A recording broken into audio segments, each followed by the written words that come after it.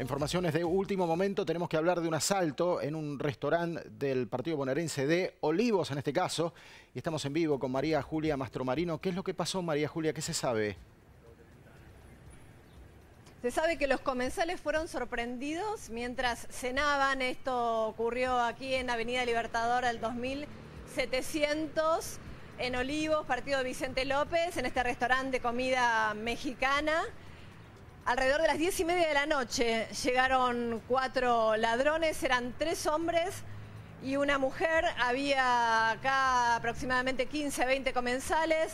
Ellos ingresaron, encararon primero a los empleados, al encargado, le sacaron efectivo, algunos objetos personales y después arremetieron contra las personas que estaban comiendo en circunstancias que se desconocen todavía. Terminaron pegándole dos culatazos a, dos personas que estaban comiendo y que resultaron con heridas leves y luego huyeron en un auto que estaba fuera de apoyo en un 405 oscuro hacia Capital Federal. Quedó acá, por supuesto, el nerviosismo, la conmoción lógica después de un robo en un momento, además, de ocio.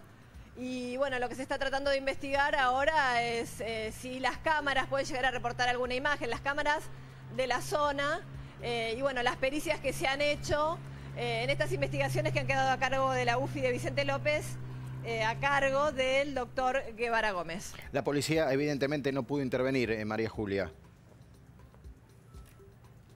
No, estábamos preguntando aquí en la zona, nos dicen que normalmente hay policía que patrulla la zona, que estamos cerca también de una delegación de gendarmería, pero hasta donde pudimos averiguar no hubo intervención policial.